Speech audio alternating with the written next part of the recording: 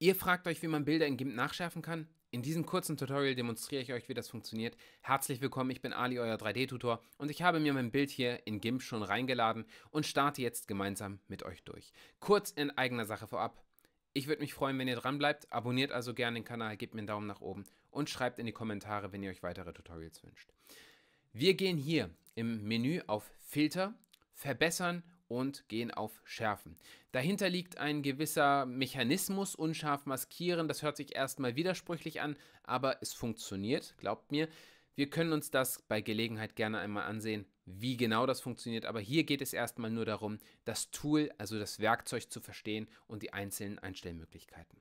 Wir haben hier einmal den Radius. Wofür ist der überhaupt gut? Was macht GIMP überhaupt? GIMP geht bei und sucht sich alle Stellen, an denen es hohe Unterschiede an Helligkeiten oder Kontrasten zwischen den Pixeln gibt. Das heißt, wir haben hier dunkle Bereiche, wie ihr hier seht, und dann haben wir hier helle Bereiche oder hier sehr helle Bereiche und dann hier etwas weniger helle Bereiche. GIMP sucht diese Stellen heraus und verstärkt den Kontrast an diesen Stellen. Und jetzt haben wir die Möglichkeit über den Radius den Bereich zu vergrößern, an der diese Stelle, äh, an der dieser Kontrast verstärkt wird, an der diese Schärfe hier verstärkt wird. Ihr seht das, der Bereich, an der der Effekt wirkt, äh, wird größer, wenn wir mit dem Radius spielen.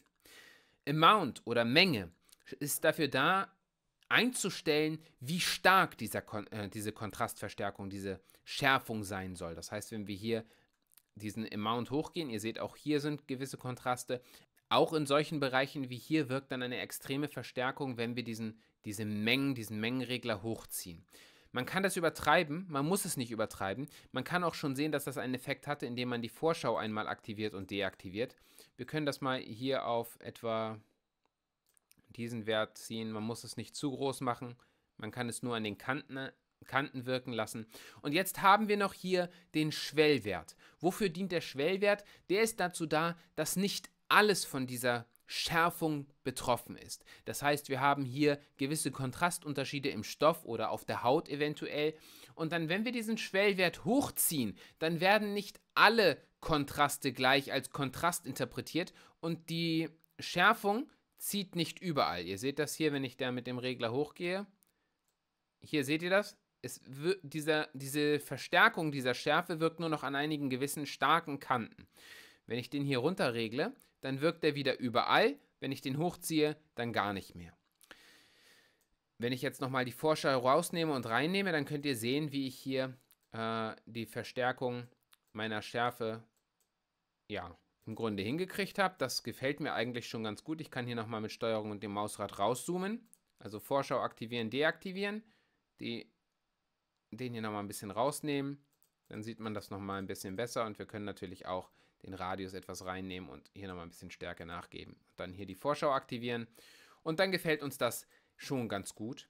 Wenn wir das noch einmal benutzen möchten, dann können wir die Einstellungen hier speichern. Das heißt hier die aktiven Einstellungen als Voreinstellung speichern und dann können wir unter den Einstellungen darauf zurückgreifen. Das Ganze mit OK bestätigen und schon haben wir unser Bild geschärft. Eine Kleinigkeit noch, ihr habt hier über die geteilte Ansicht die Möglichkeit auf der rechten Seite ohne den Filter anzeigen zu lassen, wie das Ganze aussieht. Und auf der linken Seite seht ihr, wie das mit diesem Filter, mit dieser Schärfung aussieht.